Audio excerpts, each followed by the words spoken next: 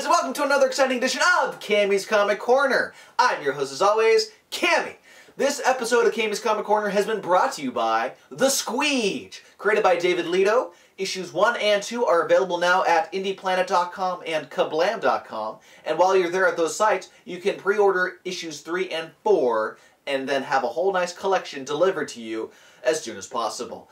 I have uh, reviewed issues 1 and 2 in Cammy's Comic Corner Indie Comics episodes, volumes 1 and 4, so be sure to check out those episodes at the site and see why you should be falling in love with this this funny character with a magical squeegee. And, I, and I, I shit you not, it's an enjoyable comic and a fun time had by all. So, Kablam.com and IndiePlanet.com, pick up your issues of The Squeeg today.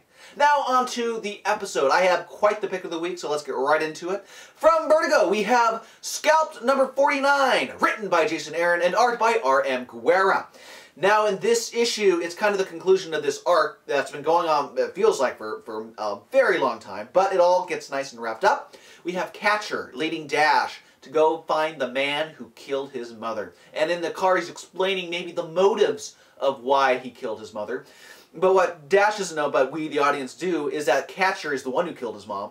And Catcher's kind of sad that Dash didn't listen to him when he gave him that second chance, and he didn't better himself in any way. So Catcher feels like he needs to do what the gods have been telling him to do, and and bust a cap in Dash's ass. And so he's about to pull the trigger. He has the gun to his head and everything when Dash has to swerve out of the road real quick because Officer falls down, a blindfolded officer falls down, who's been stabbed in the gut, mind you, by Catcher. He is walking through the street, and he almost gets hit by Dash. And, but, you know, that was kind of like the final harumph as he falls down. And Dash uh, gets shot right through the cheek. It is fucking just brutal. He gets he gets both cheeks pierced by a bullet. And then a gun battle ensues because Catcher's hurt, Dash is hurt, they're all stumbling from the car, shooting off at each other. No one's hitting anything, but Catcher makes, a, uh, makes his getaway to his horse in waiting Festus. But Festus apparently thinks he's betrayed the spirits or the gods as well and leaves Catcher there to die. Meanwhile, we have um, uh, Chief Red Crow talking with Hassel about the whole elections and everything, and, and he's still waiting for that sign. And the sign comes when Hassel starts having a heart attack. And Red Crow is like pondering for a second, do I call 911? Or do I let my future opponent in these upcoming elections just fall to his demise? He does, he, he betters himself, and it's the sign from God that he needs, and he calls uh, 911 and they're able to get him there just in time.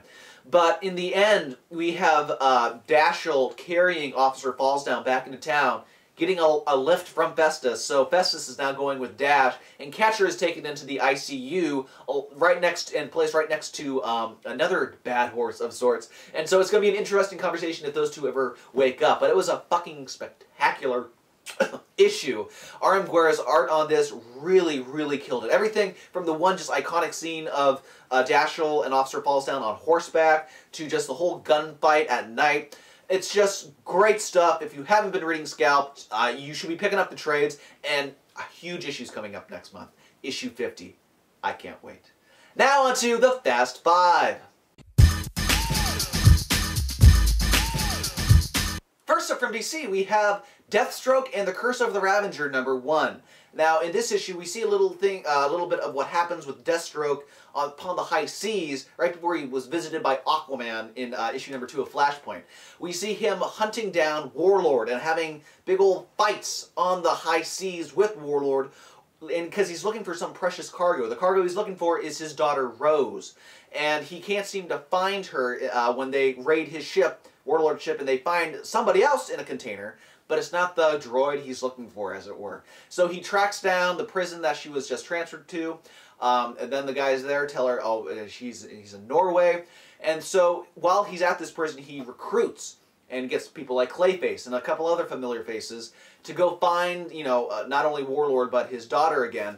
But at the end, he's visited by Aquaman. And Aquaman doesn't like him patrolling his seas. And then we see a nice little trident going through Deathstroke's belly. But in this in this world, I can totally see Deathstroke as a pirate because he's got the skills, he's got the know-how, he's deadly on the high seas, and then, you know, have a, foe, a foe like Warlord even sweetens the deal. It was a very good uh, tie-in, and if you're looking for the Flashpoint uh, miniseries to, uh, you know, skip or, or, or uh, lock onto, this is definitely one you want to lock onto.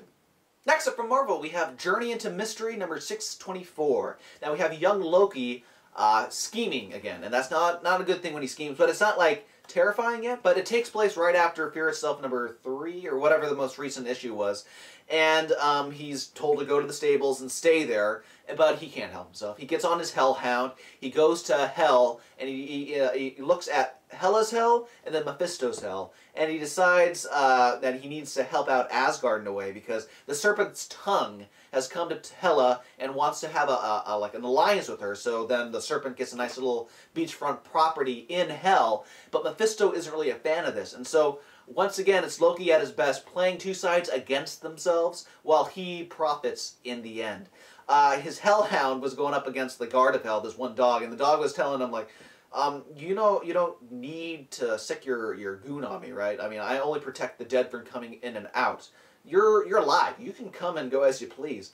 But, um, it's really interesting to see what's going to happen next because Mephisto is happy that Loki's back because he always needs somebody to, you know, banter with and, you know, uh, over scheme, like out scheme the schemer. And it's all about the devil you know in this issue. And, uh, you know, we don't want any alliances with any of the rulers of hell with the serpent, uh, but you know they don't know that. They, they don't know that they're being played.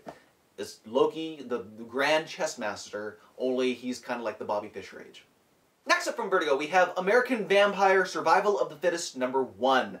Now we have new characters, we have some uh, old characters in this. This is kind of the spin-off from the main series. It follows a gal named Felicia Book, and she is a part of the Vassals. And what the Vassals are are vampire hunters.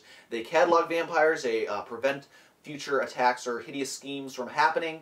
And in this issue, she's trying to warn this uh, newspaper owner that uh, like a lot of people on his staff in the different uh, papers across the country are actually vampires, and they're keeping certain news from making headlines, or they're um, omitting a lot of different facts, whatever helps the vampire's cause. And she takes care of one in his office, right in front of him, Uh, showing how much of a badass she is. And we find out that she's kind of a little bit of a hybrid herself. Her dad was actually killed by Skinner Sweet, and his, her mom was, was her duty to find and try to kill Skinner, but she never succeeded.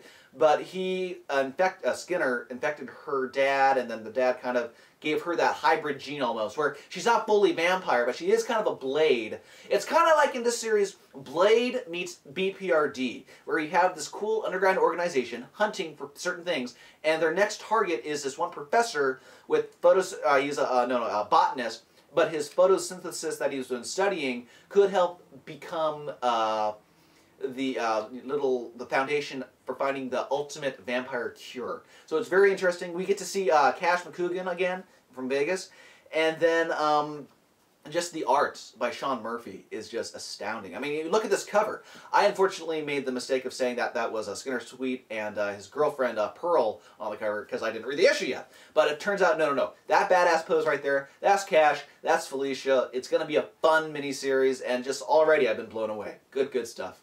Next up from Marvel, we have Punisher Max number 14. Now, Nick Fury visits Frank in prison.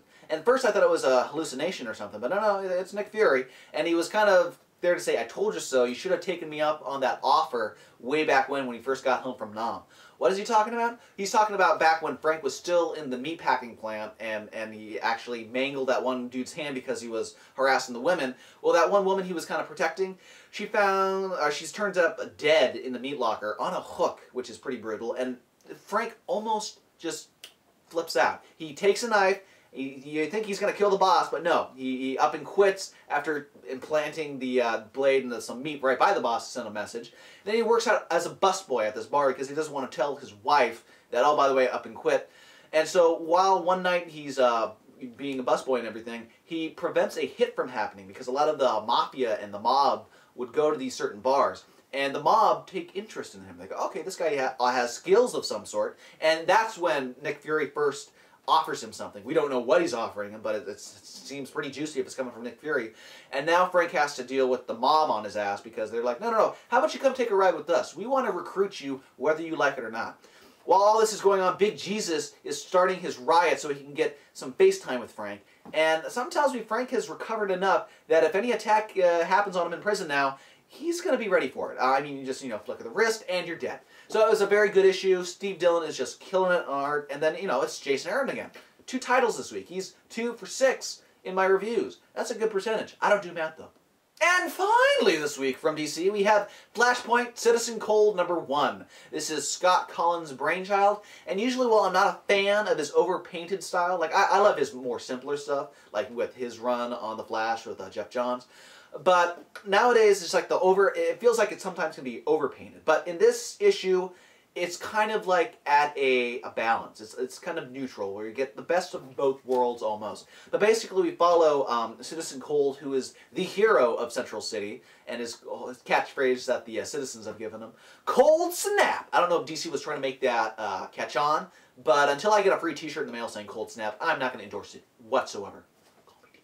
So we have, uh, in the opening uh, panels, him versus uh, Dr. Freeze. And, or, I'm sorry, Dr. Freeze? Mr. Freeze from, you know, Batman. But uh, we turn, uh, found out this hero isn't all that merciful like Batman would be, and he has no problem killing his villains in front of the public, in you know, in the daytime, no less. But over at Iron Heights Penitentiary, he has his own sub-level where they keep all of his villains. And sure enough, it's the old rogue galleries. I mean, we have Mirror Master there, except he thought he killed Mirror Master, but now he's he's plotting his downfall with Wizard, and, and no one likes Trickster. And while all this is going on, uh, Citizen Cold has a little kind of a crush on Iris West, who is married to Wally West, who isn't Flash. But he, Wally West seems to be kind of like the Pied Piper in a way. I mean, I'm just seeing the musical notes that the Pied Piper is known for, but Pied Piper starts doing a little bit more research on who Citizen Cold may be. Turns out it's Leonard Snart, and he found out just that uh, his sister killed his dad because it was abusive dad, ex-cop. Now his sister's going to jail. But uh, th there's little bits of it from the old DCU that we know that, okay, well, you know, he has a sister, uh, Gold Glider, or whatever glider, and uh, left him at home with the abusive dad. But anyway, bottom line, at the end of this issue, uh, Citizen Cold finds out that Wally was taking pictures of him and knows his identity now, so he, he deals with Wally. He kills Wally while Iris is on the other line. So, one flash down, a couple more to go. Why is this villain with a rap sheet a mile long protecting the city all of a sudden? We don't know. It intrigues me though. Good stuff. So that does it this episode of Cammy's Comic Corner. I was going to say I've been your host, Cammy. No, no, no. Not yet, not yet. If you want more Cammy's Comic Corner goodness, check out www.camyscomic.corner.com. Every Wednesday, you get a geeky talkie. Every Sunday, you get a weekly review episode. Every Friday, you get the best of my favorite covers. And at the beginning of the month, you have the book of the month. And at the end of the month, you have the top shelf selection. There's plenty of stuff happening at the website. And then if you want to see what random thoughts I have while on the toilet, check out at Cam Comic Corner on Twitter. Once again, this episode has been brought to you by The Squeeg by uh, David Leto. Issues 1 and 2 are available now, and then 3 and 4 for pre-order, all at kablam.com or indieplanet.com. And if you want to see my reviews of issues 1 and 2, you can check out at the website cammyscomiccorner.com. You can check out Cammy's Comic Corner Indie Comics episodes, volumes 1 and 4. And so I'll give you the reasoning of why you should check out the superhero who has a, mag or a magical squeegee that apparently is magnetic, it can make him fly, and bubbles everywhere. It's a really fun comic, and I can't believe this isn't made into a movie yet. Hollywood, if you're listening, get on this right now! But until Hollywood uh, touches the property, you can pick up the copies of your own at kablam.com and at Indie Planet. So that does it this episode of Cammy's Comic Corner. I have been your host, Cammy. Now I'm going to go see Super 8 because I heard nothing but fantastic things about it. And who knows, maybe I'll do a geeky talkie on it. Maybe. Maybe. Good night, everybody.